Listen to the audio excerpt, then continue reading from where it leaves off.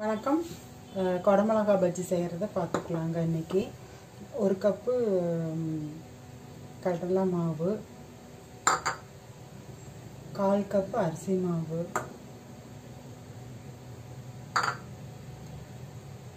கால் கப்புக்கும் கொஞ்சம் கம்மியாக மைதா மாவு.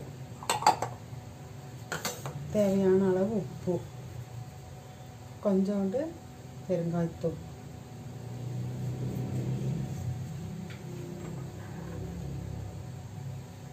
கால் டீஸ்பூன் சோடாப்பு கொஞ்சம் மாவுலேயே இது போட்டுக்கலாம். ஓமப்பொடி ஓமம் சரி அப்போ மாவை கலக்கிக்கலாம் நல்லா.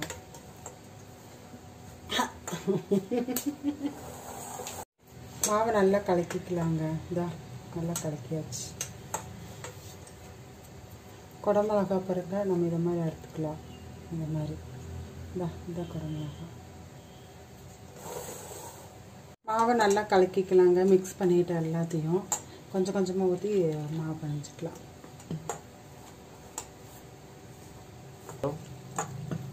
பாருங்க இது மாதிரி நல்லா கொஞ்சம் கெட்டியாக இருந்ததுன்னா தான் பஜ்ஜிக்கு நல்லாயிருக்கும்.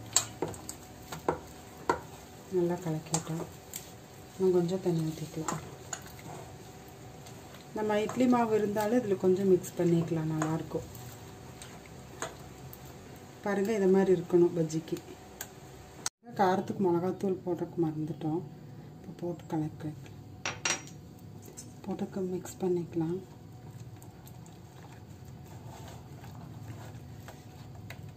கலர் ஆயிடுச்சு சூப்பராக பாருங்கள் எண்ணெய் காஞ்சிடுச்சு.